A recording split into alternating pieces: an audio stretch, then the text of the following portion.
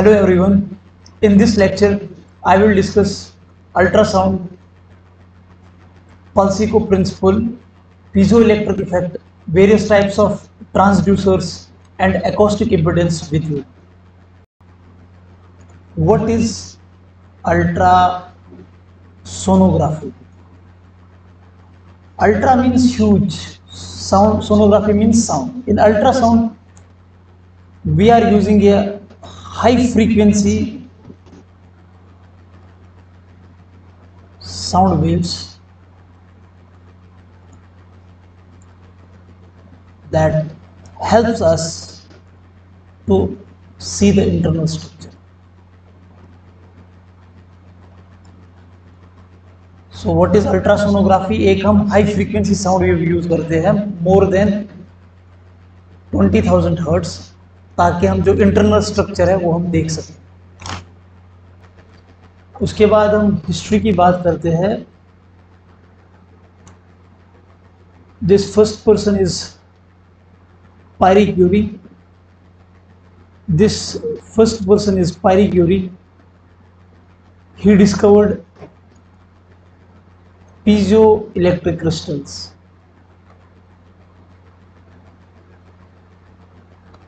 This second person is a Carl Lusik. He was the first person who attempted the USG of Hadron.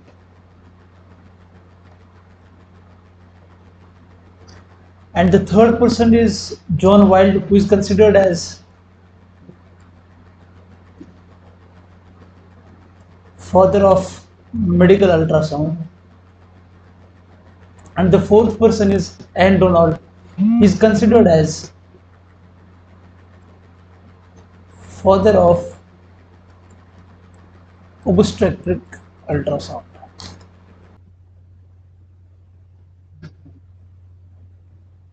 इस ultrasound को easily समझने के लिए आप लोगों को चार कंसेप्ट पता चाहिए पहला कंसेप्ट हमारा है reverse piezo electric effect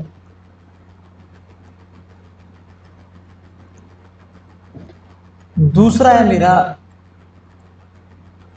piezo electric effect. Third concept is pulse echo principle and fourth is very important that is acoustic impedance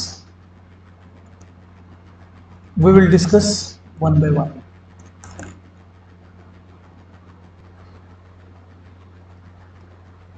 Now we will discuss reverse piezoelectric effect and piezoelectric effect. ये जो ultrasound है इसका frequency more than twenty thousand hertz होता है इसके लिए हमें एक मटेरियल चाहिए सो so, मटेरियल हमने चूज़ किया electric crystals. Most commonly used is lead zirconate titanate अब जब मैं इस लेड जिरकुनेट टाइटेनेट जो कि मेरा पीजो इलेक्ट्रिक क्रिस्टल है, जब मैं इसको वाइब्रेट करूँ it will give me ultrasound so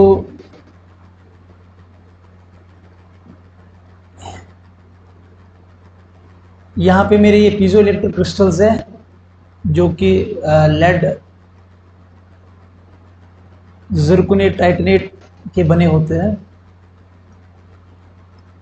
इनको हम किससे वाइब्रेट करते हैं? वी यूज़ इलेक्ट्रिक करंट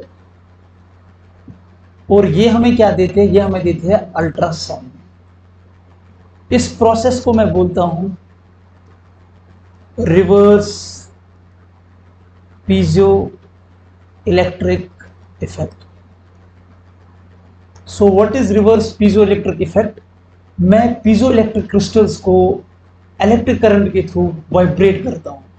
आपको पता है whenever there is vibration sound will be produced so जब मैं इन लेड जुर्कने टाइटनेट को वाइब्रेट करता हूँ, ये मुझे क्या देते हैं यहाँ पे? अल्ट्रासाउंड अब हम समझते हैं पीजो इलेक्ट्रिक इफ़ेक्ट क्या होता है। अभी आपने पढ़ा, जब हम क्रिस्टल्स को with the help of current हम वाइब्रेट करते हैं, वो हमें अल्ट्रासाउंड देते हैं ये मेरे क्रिस्टल्स थे इसमें। इनको मैंने वाइब्रेट किया, यहाँ से मुझे अल्ट्रासाउंड अब ये अल्ट्रासाउंड हम सपोज़ किसी पेशेंट पे इंटरेक्ट करा रहे हैं। यहाँ से अल्ट्रासाउंड रिफ्लेक्ट होके इन पीजो इलेक्ट्रिक क्रिस्टल्स पे इंटरेक्ट करेंगे there will be deformation of crystals and they will produce electric current. So it's a reverse process actually. This process is called as piezo effect बहुत ही simple है यहाँ पे सो so यहाँ पे हम क्या कर रहे हैं इलेक्ट्रिक करंट किसको हम दे रहे हैं लेड जर्कोनेट टाइटनेट को। ये हमें क्या दे रहा है? Ultrasound this process is my this is process called as reverse piezoelectric effect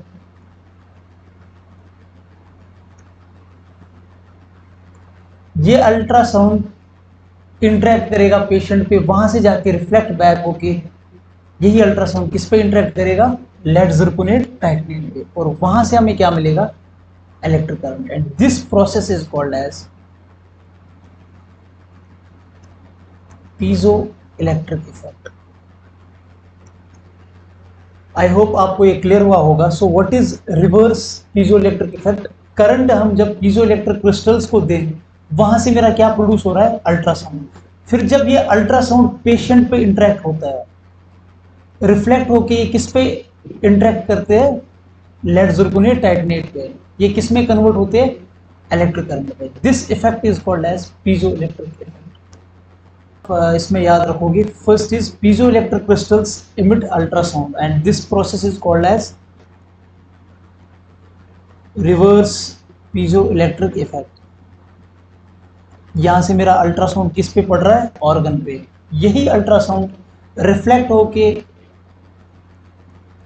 किनके साथ मेरा इंटरेक्ट कर रहा है? पीजो इलेक्ट्रिक क्रिस्टल्स के साथ। इसको हम बोलते हैं piezo electric effect and third process is creation of ultrasound image on the screen अभी जो आपने concept reverse piezo electric effect and piezo electric effect पढ़ा, ये प्रोसेस किसमें होता है? ट्रांसड्यूसर में। जिसको आप प्रोब भी बोलते हो। अब इस प्रोप के आपको टाइप्स पढ़ना है। पहला टाइप मेरा आएगा pencil probe second is convex और curvilinear probe third is my linear probe Fourth is endoluminal probe and fifth is UBM. Now we will discuss one by one. जो मेरा मेरा पहला प्रोब है दैट इज़ पेंसिल प्रोब ऐसा आप देख सकते हो this is a pencil probe इसकी जो फ्रीक्वेंसी होती है, बहुत कम होती है one two two mega hertz and its uses we use it in transcranial Doppler second मेरा जो प्रूफ है, ये आप देख सकते हो मोस्ट कॉमनली यूज्ड फ्रीक्वेंसी कितनी है? 3.5 to 5 megahertz uses abdominal and pelvis and routine obstructive studies तीसरा प्रूफ हमारा लीनियर प्रूफ आता है. इसकी फ्रीक्वेंसी बहुत ज़्यादा है. 7.5 megahertz to 12 megahertz and it's it's used in small part imaging like neck thyroid and breast this is a pencil probe fourth या आप देख सकते हो this probe is called as endoluminal probe it's frequency is more than 10 megahertz and uses are transvaginal USG TVS, transrectal uh, ultrasound and TOS, TOU, transesophageal USG. And the last is my UBM probe. It has the highest frequency that is 50 megahertz. It's used in biomicroscopy of eye. बाद जो हमारा दूसरा concept है that is pulse echo principle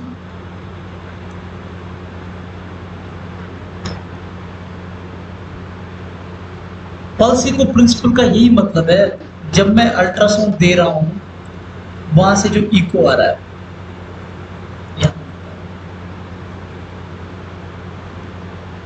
ये मेरी यहाँ पे pulse है और यहाँ से मेरा क्या आ रहा है? इको यहाँ पे आप एक कंसेप्ट याद रखोगे, जितने ज़्यादा इकोज आएँगे, उतना मेरा स्ट्रक्चर वाइड आएगा। And we will use the term hyper और जितना कम इको आएगा, उतना मेरा स्ट्रक्चर ब्लैक आएगा। We will use the term hypo so what is pulse echo principle जब हम पल्स देते दैट्स अल्ट्रासाउंड बीम ये जब रिफ्लेक्ट होकर एक इको आता है वहाँ से, जितने इकोस आएँगे, जितनी ज़्यादा इकोस आएँगे, उतना हमारा स्ट्रक्चर क्या आएगा? व्हाइट आप कौन सी टर्म यूज़ करोगे? हाइपर इको और जितने कम इकोस आएँगे उतना मेरा स्ट्रक्चर क्या आएगा? ब्लैक और कौन सी हम टर्म यूज़ करेंगे? हाइपर उसके बाद हम मोड्स ऑफ़ अल्ट्रासाउंड डिस्कस करेंगे। Modes of ultrasound. We have three modes. First is A mode, उसके बाद मेरा आता है B mode. And third is my M mode. A stands for amplitude mode, B stands for brightness mode and M stands for motion mode. This amplitude mode, we use it in ophthalmo also. And B, that's a bright brightness mode, we use it is the most commonly used. Like जब भी आपको abdomen imaging करनी होगी obstructive imaging करनी होगी we use the B and third is my M that's motion it's used in echocardiography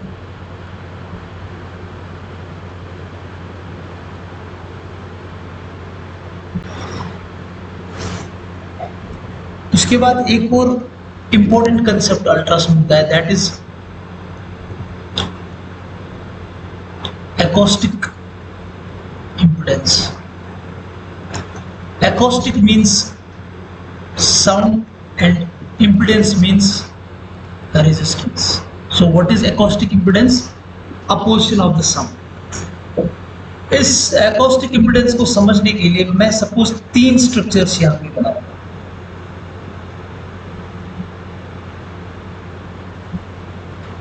तीन examples में ले रहा हूँ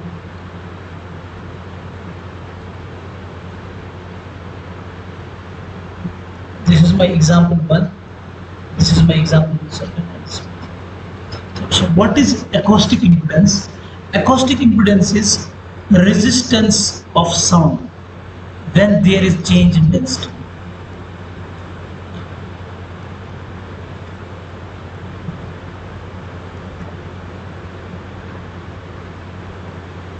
as you all know कि हम अल्ट्रासाउंड करने से पहले एक जेली यूज़ करते हैं जो कि एक फ्लूड है।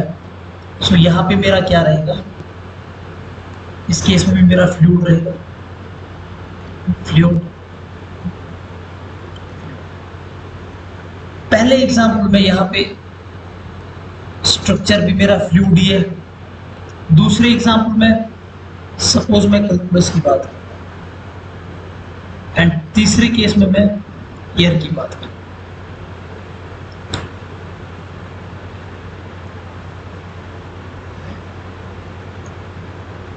ये मैं पहला केस यहाँ पे डिस्कस कर रहा हूँ। ये मेरा फ्लूड है। यहाँ पे भी मेरा फ्लूड है। So what is acoustic impedance acoustic impedance is resistance of sound opposition of sound when there is change in density so यहाँ पे आप क्या देख रहे हो? डेंसिटी सेम अगर ये मेरा अल्ट्रासाउंड पल्सिको को आप इसके साथ रिलेट करो। अगर मैं ये, मेरा यहाँ पे अल्ट्रासाउंड आ रहा है एकॉस्टिक इम्पिडेंस तब होगा जब यहाँ पे चेंज इन डेंसिटी हो। बट यहाँ पे आप देख सकते हो density one and density two is the same यहाँ पे क्या होगा? अपोजिशन होगा ही नहीं। जब अपोजिशन होगा ही नहीं, यहाँ पे इको आएगा ही आप पल्स इको प्रिंसिपल याद करो। जब हमारा इको नहीं आ रहा है, हमारा स्ट्रक्चर क्या आएगा? It will appear hypo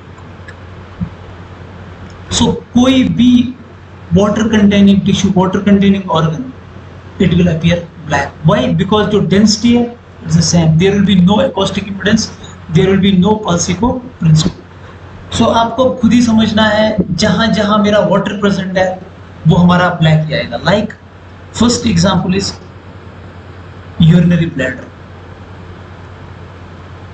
second non bladder third simple cyst. Fourth, ventricle, etc.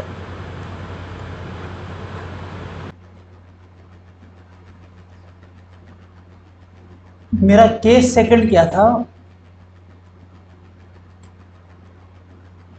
यहाँ पे मेरा फ्लूड था एंड दूसरे केस में मैं सपोज़ क्या एग्जांपल ली थी कैलकुलस अब जब मैं अल्ट्रासाउंड डाल रहा हूँ उस पर ये मेरा पल्स है अब यहाँ पे देख सकते हो there is change in density acoustic impedance को आपको समझना है। What is acoustic impedance change in opposition of ultrasound acoustic impedance is opposition of ultrasound when there is change in density यहाँ पे आप देख रहे हो there is a change in density so यहाँ पे क्या होगा? इस साउंड का अपोजिशन होगा। यहाँ पे मेरा क्या आएगा?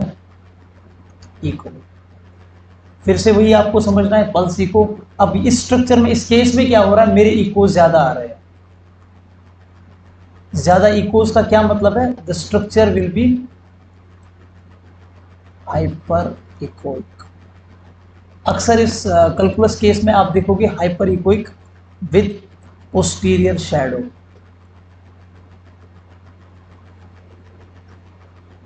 और जो मेरा तीसरा केस है ये मेरा फ्लूड था, ये मेरा एयर था। यहाँ पे क्या होगा? यहाँ पे क्या होगा? अल्ट्रासाउंड नॉर्मली आ रही है। अब यहाँ पे कौन सी डेंसिटी है? एयर की। There will be acoustic impedance there is change in density acoustic impedance होगा ही। बट यहाँ पे क्या होगा? एयर की एक प्रॉपर्टी अल्ट्रासाउंड, जब भी हम साउंड एयर में डालते स्कैटर हो गया। जब हम एयर का अल्ट्रासाउंड करेंगे it will appear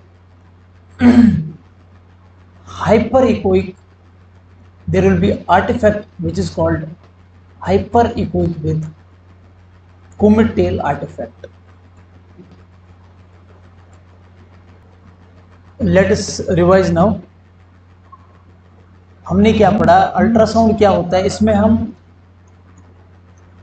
high frequency ultrasound high frequency sound use कर रहे हैं सो दैट हम इंटरनल स्ट्रक्चर्स देख पाए। उसके बाद हमने डिस्कस किया हिस्ट्री हिस्ट्री में आप चार पर्सन याद रखोगे।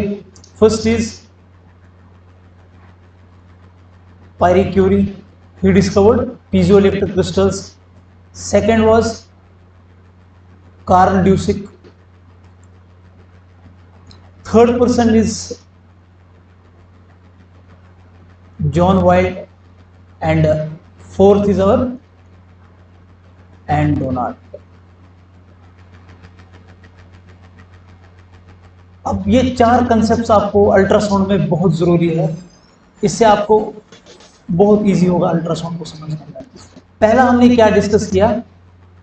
Piezo electric sorry reverse piezoelectric and piezoelectric. effect reverse का क्या मतलब था? मैं इलेक्ट्रिक करंट किसको दे रहा था?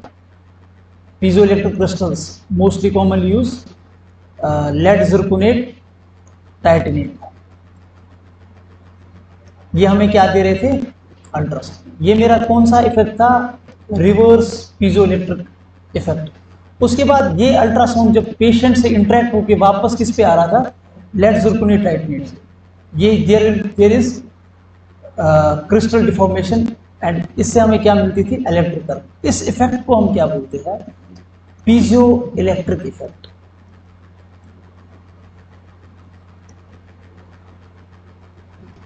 तीसरा कंसेप्ट हमने जो पढ़ा that was pulse echo principle